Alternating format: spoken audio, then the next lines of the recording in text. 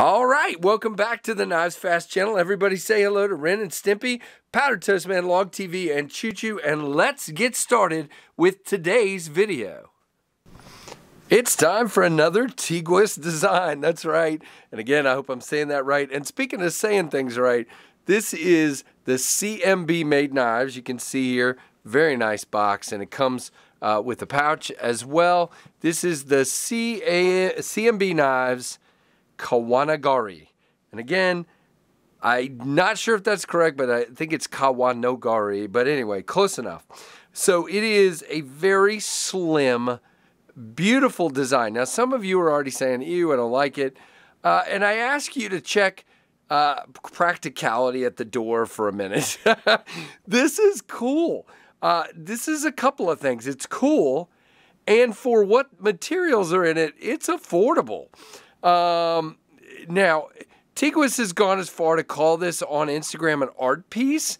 Um, now, there are a bunch of different versions of this. None, I can't find any available right now, but I'm going to link it to White Mountain because they say coming soon. Um, it is a front flipper. It has this beautiful inlay of aluminum carbon fiber, blue anodization, this gorgeous milling chamfer. So it's a chamfer with this lined milling. Uh, and again, the transitions of that carbon fiber are perfection. The transition to the pivot is great, tooled only on one side. It is a frame lock, and we even got some some cool waves uh, on the actual clip and on the lock bar relief, which is really cool. They went all in with this design. Um, again, top flipper, we'll talk about that in a minute. Liner lock, titanium, very cool. Now, this is a Criss, a folding Criss. Now, uh, you know, a Criss is a more of a fixed blade design, and obviously this is a folder. Oh, by the way, your clip is tip up right hand only, and you have about that much sticking out of the pocket. I did carry it. I did like it. Uh, very cool knife. I mean, it just is. Now, this style of front flipper is a little harder for me.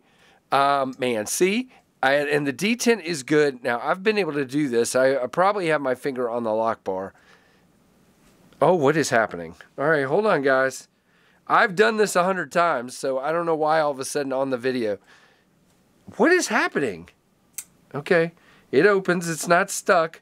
I have done this, so I don't understand what's happening right now. Okay, now I hit my hand. Okay, so I just got to give it some wrist. Now, it is a light blade. It's a thin, most of you will do this no problem. I just suck. Um, but it's also this style of front flipper. It's just not great for me.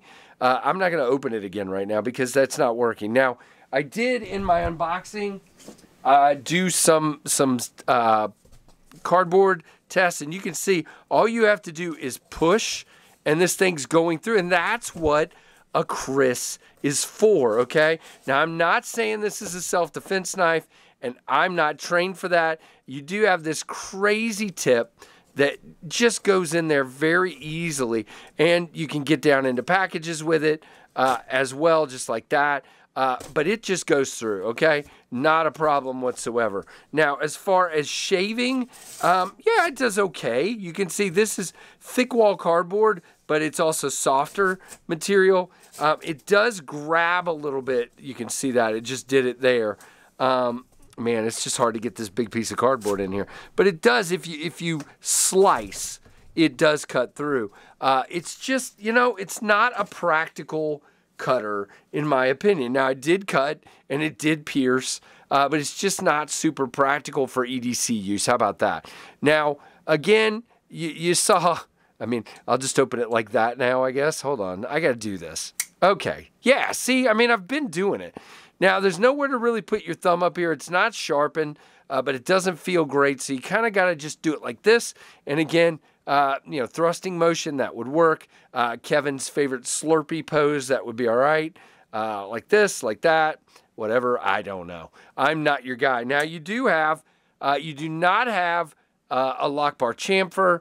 Uh, you do have chamfering in the middle, uh, but you still have to dig a little bit, but it's not bad. And the close on this, because it's such a thin blade, is a shaker, not a dropper, and that's just the way it is on this one. Uh, your jimping is good on that flipper tab. It's just the shape, but I'm actually thankful for the shape because it's not going to come up and get me like some front flippers do because of the shape. Um, not as badly, at least. Nice chamfer there. Lockup is about 25 or so.